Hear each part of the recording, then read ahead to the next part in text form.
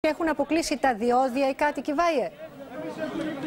Ακριβώς, Μάρα, είναι η 11η μέρα των κινητοποιήσεων και η τρίτη κατά σειρά μέρα που έρχονται εδώ στην Αττική Οδό και κλείνουν το ρεύμα προς το αεροδρόμιο. Είναι εκατοντάδες κάτοικοι, πάνω από 1500 άτομα όπως είδαμε, άντρες, γυναίκες και μικρά παιδιά. Μία ακόμα κινητοποίηση. Μάλιστα, οι κάτοικοι είναι εξοργισμένοι γιατί είχαμε και την κλοπή στο σχολείο που έγινε η δολοφονία του άτυχου 11χρονου μαθητή του Μάριου. Από εδώ και πέρα έχουν κάνει και συντονιστικό ε, και η πρόθεσή τους είναι να κλιμακώσουν τις ε, κινητοποιήσεις και με άλλες δράσεις, όχι μόνο στην περιοχή των Αχαρνών, αλλά και στο κέντρο της Αθήνας, Μάρα. Να σε ευχαριστήσω, Βάιε.